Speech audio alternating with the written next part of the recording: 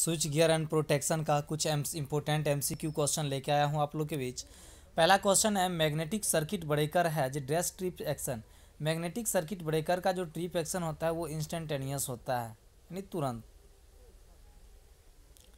इन्हें circuit breaker the basic problem circuit breaker का basic problem जो होता है, वो आर्क एक्सटिंग्विश का होता है।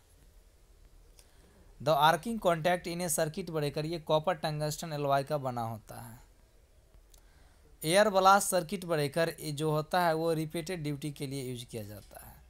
The steady state stability of the power system can be increase by इसमें लाइन को जो होता है, वो पैरेलल में कनेक्ट करके इसका स्टेबिलिटी जो होता है, वो इंक्रीज किया जाता है। ठीक है, एक लाइन के पैरेलल में दूसरा लाइन बनाया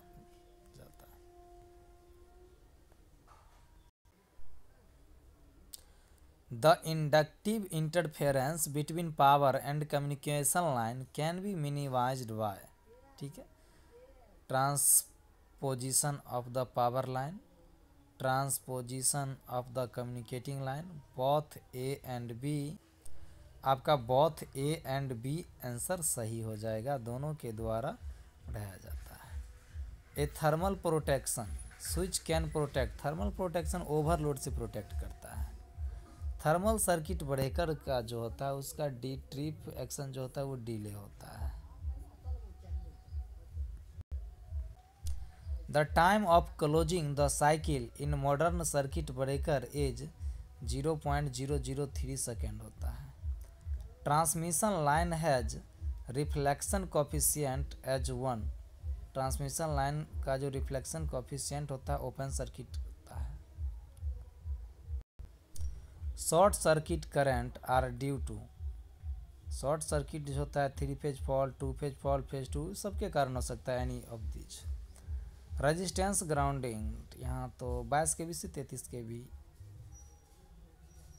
हो जाएगा। Discrimination between main and backup protection is provided by the use of relay. जो रिले यूज़ होता है, वो स्लो होता है। Overload relay are use to protect the motor against over current due to heavy loads. When a transmission line is energized, the wave that propagates voltage और current दोनों propagate होता है।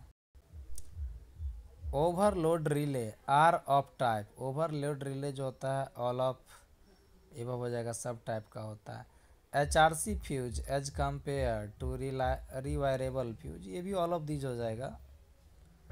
The inverse definite mean time relay are use for over current and earth fault protection of transformer against internal short circuit से which of the following device will receive voltage surge first सबसे पहले lighting arrester को मिलता है। The relay with inverse time characteristic will operate पाँच से दस second के अंदर। Arc in a circuit breaker behave. Resistance increase with voltage, rise across. तो आर्क, जानते हैं? रेजिस्टेंस बढ़ेगा, वोल्टेज जो ड्रॉप हो जाता है, वो राइज बढ़ जाता है। A fuse is connected. Fuse series में कनेक्ट किया जाता है। The reflection coefficient at the open circuit end of a transmission line. जो होता है यूनिटी होता है। Protection by fuses is generally not use. एक सौ एम्पियर के the ground wire should not be smaller than 10 copper wire. Direction relay power based होता है। एडमिटेंस रिले जो होता है, वो डायरेक्शन रिले होता है। The voltage appearing across the contact after opening of circuit recovery voltage कहते हैं।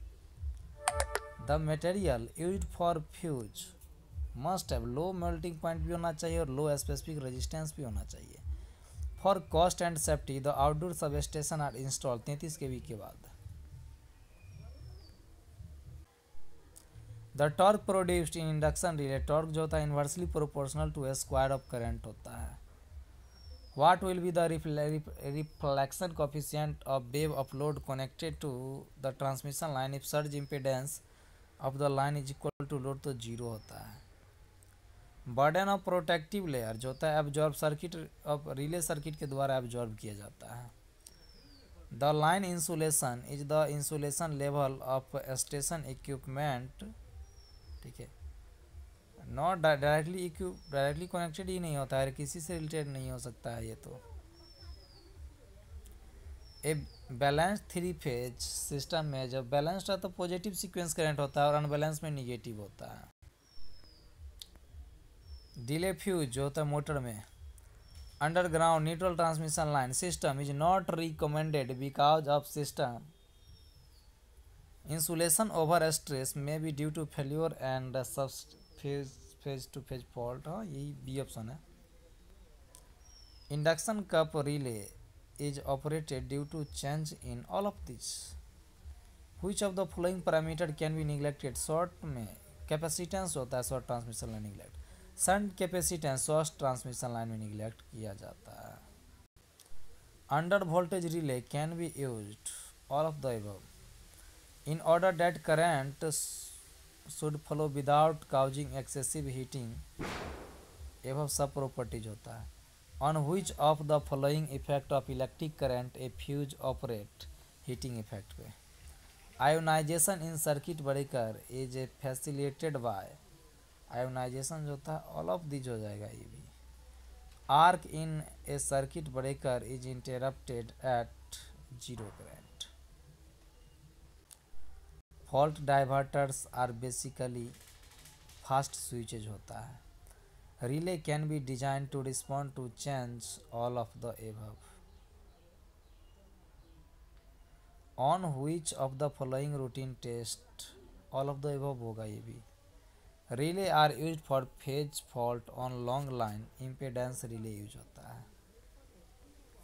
By which of following method, major portion of the heat generated in H R C fuse conduction method से। The relay operating speed depend upon all of the above the fuse blows off by melting के द्वारा if the fault occurs near the impedance relay the V R S U घट जाता है lower than that of if fault occur while switches are employed while switch जो होता है, वो all circuit के लिए यूज़ होता है। Which of the following circuit breaker has high reliability and minimum maintenance air blast circuit breaker का।